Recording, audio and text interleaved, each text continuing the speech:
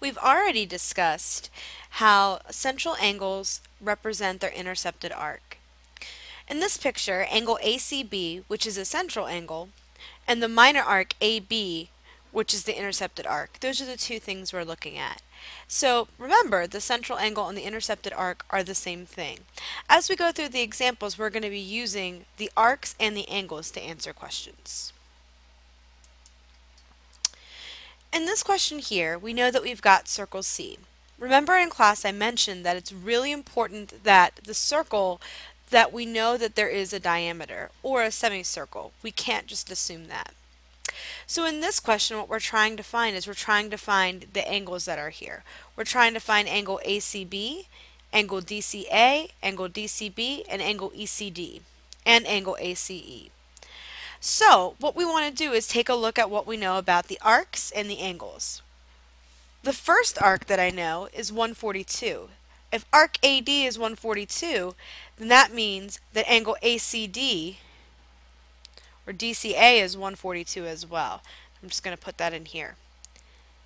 I also know arc BE is 88 degrees. That means that angle BCE right here is also 88 degrees. Now we can use that information to find the rest of the things that we need.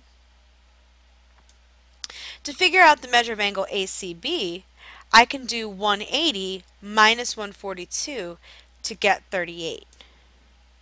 And same thing on the other side. I know if DB is a diameter, I can do 180 minus 88 to get 92 right here. Now we have to do some combinations to get some of the other numbers that we have here. If we're trying to figure out angle ACE for instance, ACE we would have to put together 38 and 88 to get our answer. Pretty basic question. The next problem that we have includes equations as a part of the central angles. In this problem it tells me that the two arcs here, DE and AB are the same. I'm highlighting them just so that I recognize that.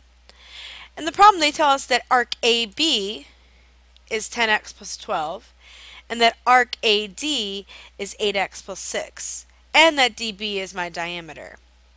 With that in mind, I can write an equation to find the value of x and then find the value of the different angles.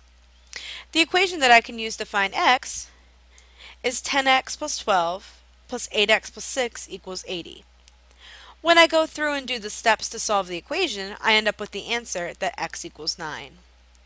To find the missing angles, what I need to do is I need to plug 9 back into the problem. As well as you may notice that because these two arcs and angles here are the same, they're vertical angles, so that means that these two are also the same. So when I take a look up here, angle ACB, when I plug in my information, is going to be 78 degrees because 8 times 9 plus 6 is 78. That makes this angle here 78 degrees, and then it makes the two here 102 degrees. So central angles aren't super complicated, you just need to find the arcs and the angles. Last question. We're going to take this concept and extend it a little bit um, tomorrow, but I want to make sure we have an idea right now. In this problem, circle zero, circle, um, oh, excuse me, circumscribes regular hexagon A, B, C, D, E, F. As a little reminder, in a regular hexagon, a few things are true. In irregular of any kind of polygon, these are true. The sides are all the same, so it's equilateral. The exterior angles, such as angle ABC, all of those are also the same, so that's equiangular.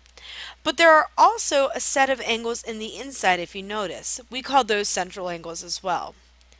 So if I have an inscribed regular hexagon, I can actually find all of the central angles by taking the degrees in the circle, which is 360, and dividing it by how many triangles make up that shape, which is also how many sides there are. So 360 divided by 6 gives me 60.